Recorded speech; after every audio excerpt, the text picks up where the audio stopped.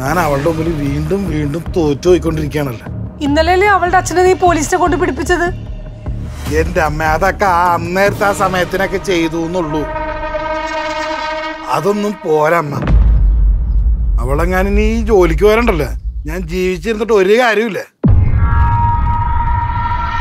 ഇന്നലെ ഞാൻ അവളുടെ അച്ഛന്റെ പേരിൽ വരട്ടി. ഇന്നിപ്പതേ അവളുടെ അമ്മയുടെ പേരിൽ വരട്ടി. ഒരു കാര്യമില്ല അഞ്ചെങ്ങാൻ ഉണ്ടായിരുന്നെങ്കിൽ ഏട്ടത്തി ഫോണിൽ സംസാരിക്കുന്നതായിട്ട് വെറുതെ ഞാൻ ശ്രദ്ധിച്ചതാ. ഏട്ടത്തി പറഞ്ഞ കാര്യം കേട്ട് എനിക്ക് ചെറിയൊരു സംശയം. എന്ത് സംശയം? ഏട്ടത്തി പറയാ കുട്ടിക്കാലത്ത് എന്തിനാ പേടിയെന്നല്ലേ ചേച്ചിക്ക് അറിയൂ? അയാൾ എപ്പോഴും ഭയപ്പെടുന്നതിന് മറ്റൊരു കാരണമുണ്ട്. പിന്നെന്തായിരുന്നു? ആ തൽക്കാലം ഇത് അരുന്ധതി വക്കീൽ അറിയണ്ട. നീ എന്താണ് ആലോചിക്കുന്നത് രണ്ടു ദിവസം മുമ്പേ അഞ്ചു എന്നോടൊരു കാര്യം പറഞ്ഞു. അവളെന്തോ ഒളിച്ചെന്ന് കേട്ടെന്ന് പറഞ്ഞു. എന്ത് കാര്യം? ആവടി കുട്ടിക്കാലം മുതലേ ആരോ പേടിക്കുന്നുണ്ട്.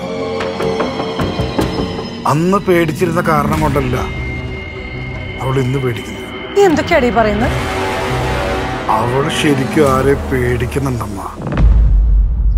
ഒരുപക്ഷെ അവൾ രാത്രി കാണാൻ പോയ ആളാവാം. പക്ഷെ അവളെ കുഞ്ഞിലെ മുതൽ അറിയുന്ന ഒരാളാണ്. അത് കണ്ടുപിടിച്ച നമുക്ക് അവളെ പൂട്ടാൻ പറ്റും. അങ്ങനെ ഒരാളുണ്ടെങ്കി അത് കണ്ടുപിടിക്കണമല്ലോ. കണ്ടുപിടിക്കണം. അവൾക്ക് ജോലി കിട്ടിയ ഒരു ഇതിലേ ഞാൻ അതങ്ങ് വിട്ടുപോയി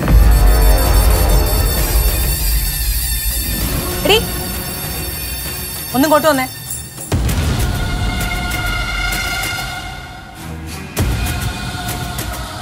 എന്താ?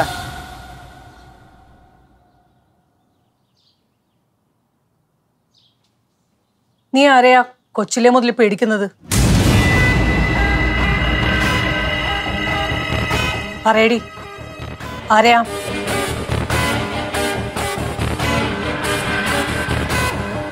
ഓ നിന്റെ കാര്യം ഞങ്ങൾ അങ്ങനെ അറിഞ്ഞതായിരിക്കും ഇവിടുത്തെ തൂണിനും തുരുമ്പിനും വരെ കണ്ണും കാതും ഉണ്ട്. വല്ലവരും സംസാരിക്കുന്ന ഒളിഞ്ഞു എന്ന് കേട്ടിട്ടേ തൂണിനും തുരുമ്പിനും കണ്ണും ചെവിയുണ്ടെന്ന് പറഞ്ഞാൽ പോരാ. ഒളിഞ്ഞു എന്ന് കേട്ടോ നേരിട്ട് കേട്ടോ. സംഭവം സത്യമല്ലേ? നീ ആരെ പേടിക്കുന്നെന്ന് പറഞ്ഞു ഇത്രയും നിങ്ങൾ കണ്ടുപിടിച്ചില്ലേ? നീ ആളെ കൂടെ കണ്ടുപിടിക്കും.